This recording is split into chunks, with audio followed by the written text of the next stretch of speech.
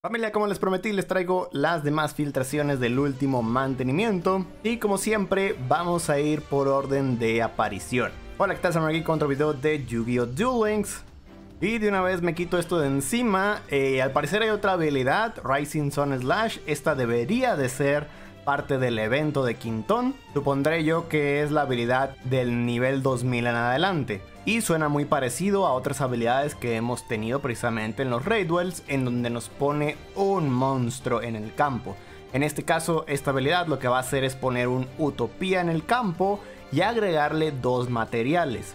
Así que para que vayan planeando sus farmeos para los niveles más altos usando al Utopía. Luego, hoy por la noche, tendremos desbloqueable al personaje de Quintón. Y este, por supuesto, por su edad de nivel va a traer nuevas cartas. Y la primera es uno que muchos habían estado esperando debido a las filtraciones de los diálogos que tiene Quintón. Y es que tiene diálogos con los cosmos. Entonces le van a dar un cosmos, solamente hay uno, de nivel 8. Si es invocada en modo normal o especial, puedes seleccionar un monstruo en el campo y destruyelo. Tu adversario no puede seleccionar esta carta con efectos de cartas si esta carta es destruida en batalla o por efecto de una carta y mandada al cementerio, puedes desterrar esta carta en tu cementerio e invocar de modo especial desde tu deck un monstruo cosmos de nivel 7 o menor. Muy bien, le va a dar muy buena jugabilidad. De hecho, esta me sorprendió que no saliera dentro de la misma caja, porque hubiera estado pues un poquito más decente el deck. De todas maneras, no creo que se rompa, pero sí es una muy buena adición. Y bueno, antes de continuar con la siguiente carta, les recuerdo que si les gusta ese tipo de contenido, si les gustan las filtraciones y noticias, consideren suscribirse al canal, alrededor de un 40% no está suscrito y la suscripción ayuda muchísimo en verdad al canal. La siguiente carta también UR Big Viper T301. Cuando es declarado un ataque que involucra tu monstruo boca arriba y un monstruo adversario, Puedes invocar esta carta de modo especial desde tu mano o cementerio. Hmm, ok, se baja gratis, pero destiérralo cuando deje el campo. Ah, ok, vale. Iba a decir, es una invocación de gratis y luego lo envías al cementerio y luego se vuelve a revivir, pero no. Si se invoca de modo especial, se retira después. Vale, solo puedo usar este efecto una vez por turno. Los otros monstruos máquinas de luz que controlas ganan 1200 de ataque. Uf, papu. Digo, lo más como cae esto, tu oponente puede cambiar el target del ataque. Entonces, si ya con los 1200 podías superar el ataque del oponente, pues ya no te va a servir de mucho de todas maneras. Y la última carta, la SR, Super Máquina de Guerra Anti-Kaiju Mecha Rey Trueno. Precisamente nos está dando el Kaiju Rey Trueno, digo en el evento. Entonces, viene bien que también le pongan el Anti-Kaiju.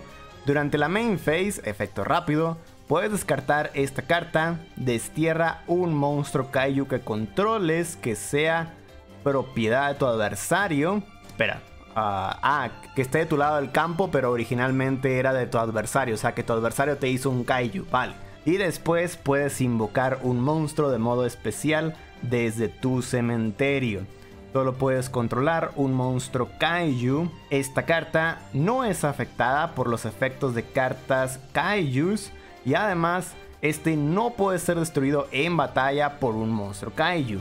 Durante tu end phase, si esta carta está en tu cementerio, puedes invocar esta carta de modo especial. Eh, solo puedes usar este efecto una vez por duelo. Ok, no está mal. Digo, obviamente el descartar, quitarte un monstruo, muy probablemente sea para quitar la estrategia Kaiju. Y al final del turno de tomas se revive, así que te da un cuerpo extra nada más. Y bueno, estas son las únicas tres cartas que tiene el personaje de Quintón. Entonces suponemos que lo van a rellenar un poquito. Digo, aunque nos den las tres copias de, cada una de estas, aún así faltarían como una o dos cartas. Entonces sí, lo más probable es que rellenen con alguna otra carta o con tickets. Pero sí, ninguna de estas cartas las veo tan descabelladas que nos den tres copias. Así que no hay ningún problema. Vale, y eso fue el personaje de Quintón que se desbloquea justamente esta noche. Las habilidades las veremos luego de porque a veces cambian. Vale, luego el día domingo, domingo 30, tenemos la salida de la nueva caja Soul Flare Lighting. Ya hablamos de ella, si quieren ver mi opinión de las cartas, links de ese video en la descripción. Y también ya hablamos del terraforming, ya nada más está confirmado que va a estar limitado a uno. Y algo que también debe de aparecer con esta nueva caja y que es totalmente nuevo es esta promoción. Dice que es un bundle, eso quiere decir que te van a vender varios packs y tal vez te incluyan alguna otra cosita. Pero lo que sí te van a incluir sí o sí es el Box Ships, un nuevo objeto. Y este lo vamos a poder cambiar en el cambiacartas. Por algunas cartas, no sabemos qué cartas vayan a ser, no sabemos si van a ser de la misma caja donde viene esta promoción. No sabemos si nos va a permitir únicamente sacar más copias de alguna carta que ya tengamos o si nos va a poder permitir sacar una carta nueva. Y también lo que suponemos es que esto únicamente se compra con dinero. Entonces, para los que gastan dinero, seguramente ya van a tener más fácil completar los decks. O también podría ser que nos dejen agarrar cualquier carta de cualquier caja. Esto sería lo óptimo porque así puedes comprar los nuevos sobres y ya si necesitas alguna otra carta vieja, no tener la necesidad de abrir dicho pack, sino nada más agarrar la carta o las cartas que necesites. Entonces, como por ejemplo, ahorita en este nuevo sobre va a venir el soporte Orcus, el cual vas a querer eh, una carta SR de un sobre viejo y por lo tanto, si esto nos permite agarrar cualquier carta, muchos de los que gasten dinero, bueno, si es que es de dinero, ¿no? Muchos van a tener la posibilidad de agarrar esa carta sin la necesidad de volver a abrir el pack. Como dije, esto será lo óptimo, pero no sabemos cuál es el plan de Konami. Y esto sería un equivalente a un sistema de crafteo. Ya tendríamos una forma, aunque no sabemos si va a ser pay to win, pero ya tendríamos una forma de conseguir cualquier carta. Ya mañana sabremos qué onda. Vale, luego de eso, el domingo por la tarde noche, tenemos el reinicio del PvP y como siempre nos traen una nueva carta. En este caso va a ser el Dog King que en español va a ser traducido como Perro Jet. Y esta es una carta de equipo para los Tribul Dogs. Dice, el monstruo equipado gana 500 de ataque por cada monstruo bestia que controles. No dice que no se incluya a sí mismo, así que sí, se va a incluir. Y aparte, si esta carta es enviada al cementerio, puedes añadir un Tribul Dog desde el deck a la mano. Así que muy bien, otra carta exclusiva de anime y los juegos llega a Duel Links. Y otro soporte para el Tribul Dog. Y bueno, todo el soporte de Bulldog está dentro de los tickets del PvP precisamente.